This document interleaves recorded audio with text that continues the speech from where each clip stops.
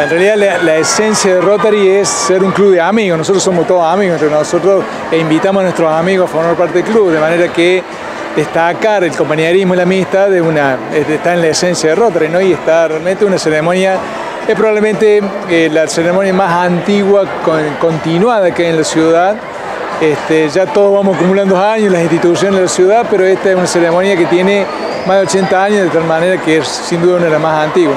Ya desde hace varios años se, se ha invitado a, todas las escuelas cercanas a Belleville, de las localidades cercanas, que no, no tenían esta ceremonia, y si los chicos de, de, Morrison, de Pose, de San Marcos, de Sintra están participando en esta ceremonia. La, idea de destacar también a ciudadanos o a, gente que hace cosas en la ciudad y en la región también tiene muchos años, se viene haciendo todos los años. Ustedes recordarán que el año pasado se distinguió a un chico que había alcanzado grandes logros pese a algunas dificultades, al doctor Pola, que es un científico argentino importantísimo.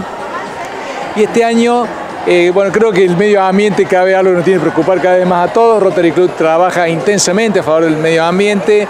Eh, somos también la institución que más árboles planta en Belleville año a año. Lo venimos haciendo desde hace más de 30 años.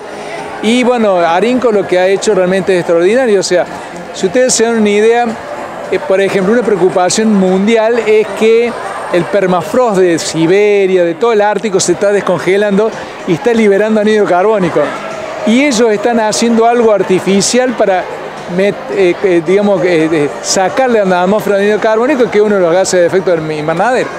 A su vez, yo creo que pocas ciudades en Argentina pueden tener una planta como la que ellos han construido también para tener un biogás y generar energía eléctrica con eso. Realmente eso es importantísimo.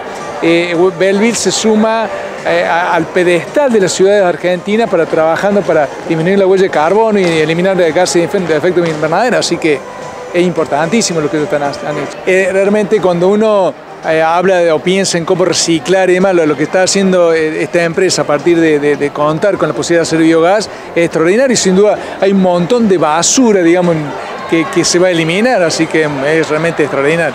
Fue principalmente de uno de los, de los socios que siempre tuvo vocación para, para innovar y para hacer este, cosas nuevas y, y ir este, ampliando el, el espectro de los trabajos y esas cosas. Eh, quiero aprovechar también para agradecerle al Rotary Club eh, en nombre del equipo de Arinco este reconocimiento.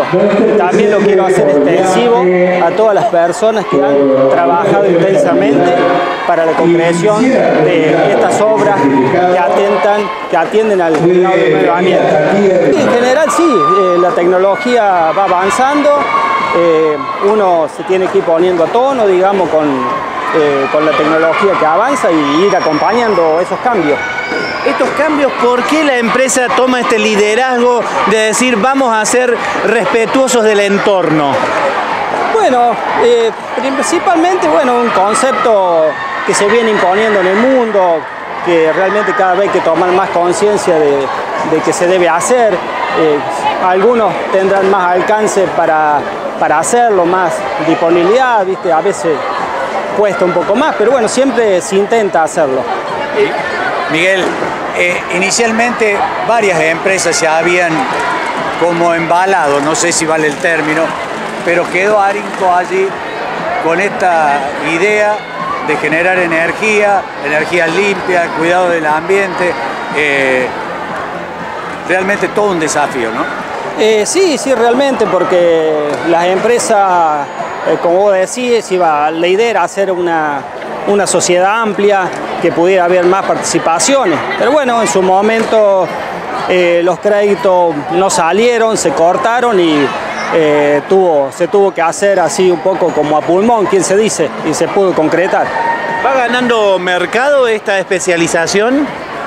Eh, sí, hay, hay momentos, hay momentos que, que, que, hay más. Ahora, por ejemplo, no se están licitando, pero solamente, no solamente con el gas, digamos, con, con, la producción, sino también están avanzando mucho la, la solar también y la eólica, ¿viste? Todas, todas compiten, digamos.